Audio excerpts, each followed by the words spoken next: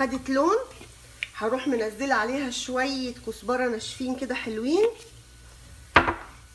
واديها كمان تقليبة. مجرد ريحة الكزبرة تطلع خلاص.